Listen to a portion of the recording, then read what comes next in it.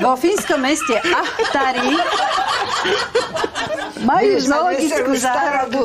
Áno. Zoologickú záhradu, kde medvedica Santra každé ráno cvičí joginskú zostavu. Či furt je to smiešne?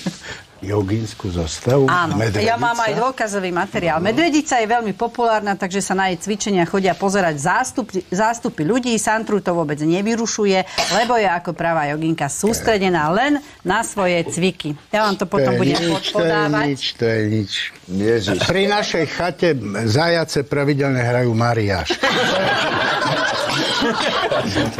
Ja tu takto niektoré cviky, ešte aj šáva sa Na ty ešte chodíš na jogu? Áno, ale To vidíš?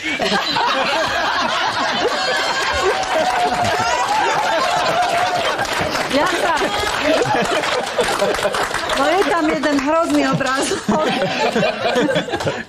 Ale sú aj takéto, toto zvládam napríklad. Ale predsa len trošku, trošku, trošku sú nechutné tie obrázky, aspoň parochňu si mohla dať. A ja, mohla som, sa oholiť. ja som práve na toto chcel. Kto to tu má na starosti tú fotodokumentáciu? Lebo tak z londýnskeho týždňa módy, z tých klobúkov pekných a z parochní nemáme jeden obrázok, ale nejakú medvedicu štyri. Nebudeš to Pritom ty, tá Maroško? medvedica je tiež úplne nahá.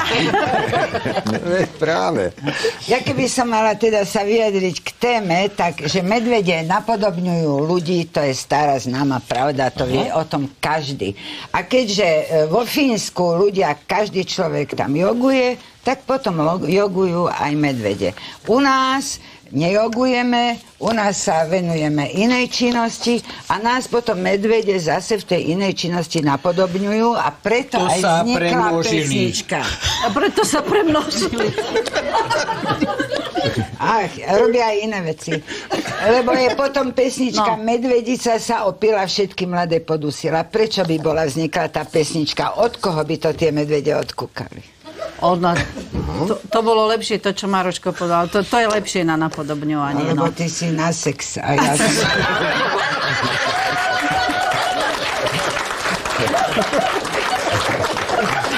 Ako ja vyjdem z tejto relácie. Yoga, sex.